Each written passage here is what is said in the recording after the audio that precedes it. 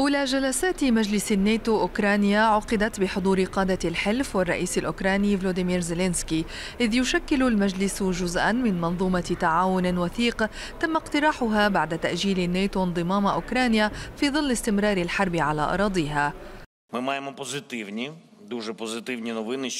هناك أخبار إيجابية عن الحزم الدفاعية التي سيقدمها حلفاؤنا كما أن الضمانات الأمنية مهمة جدا لنا ولشعبنا وهي أيضا طريق لضمان اندماجنا في حلف الناتو.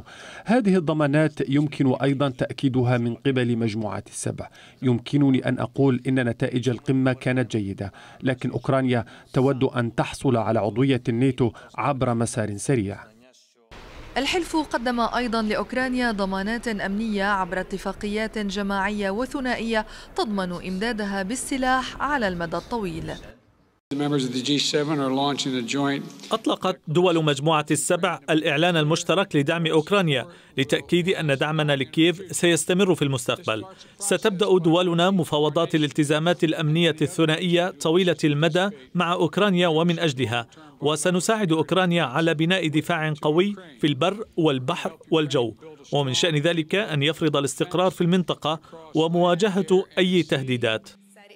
وقررت قمة الناتو تعزيز الدفاع في الجناح الشرقي للحلف وصادقت على خطوط جديدة للدفاع الإقليمي من القطب الشمالي وحتى البحر الأسود.